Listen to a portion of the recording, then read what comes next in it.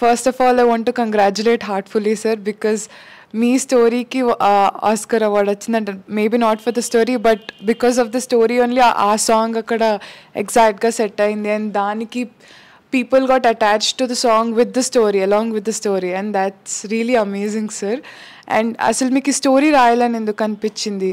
అంటే ముఖ్యంగా ఆ రెండు మెయిన్ పాత్రలు. పాటకి ఆస్కార్ వచ్చింది బట్ ఆ పాటకు వస్తే మొత్తం అందరికి వచ్చినట్టు ఎందుకంటే దాని వెనకాల ఒక కథ ఉంది.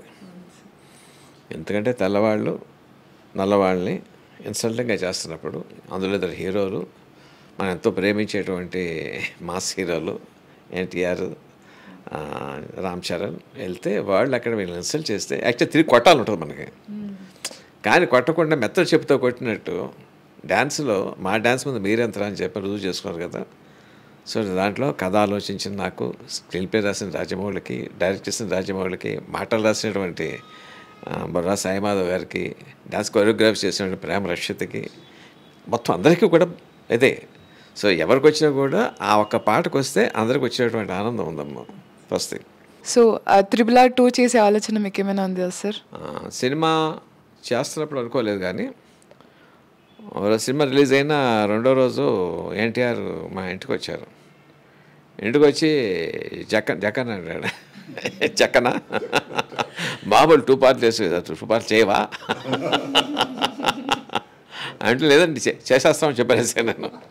అది మా అబ్బాయి కూడా తెలియదు చేసి ఏం చేస్తున్నారని చెప్పంటే అనుకో టప టప చెప్పాను మూడు మొక్కలు చెప్పాను అన్న.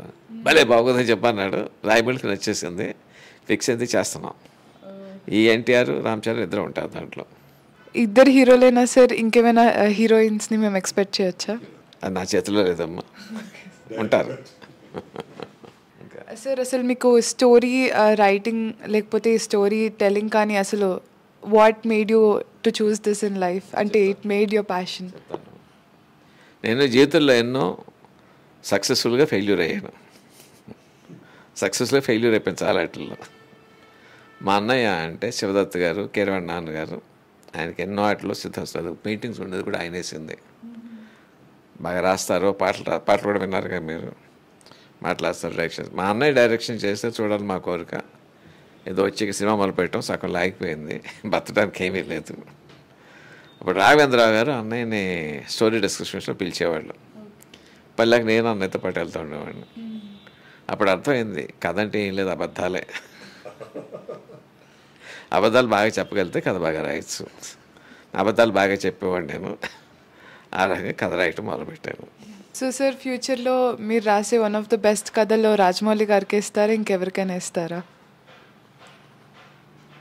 కథలు బెస్ట్ కథలు ఉండవమ్మా కథనే బెస్ట్గా తీస్తారు. వాడు బాగా తీస్తాడు. అన్నీ మంచి కథలు ఇస్తాను నేను. తీసేవాళ్ళ కెపాసిటీని బట్టి ఏముంటూ ఉంటుంది. కథ రాయాలంటే అబద్ధాలు చెప్పడం నేర్చుకోండి అని చెప్పాను ఒకసారి పాపం ఒక అమాయకుడు అడిగాడు.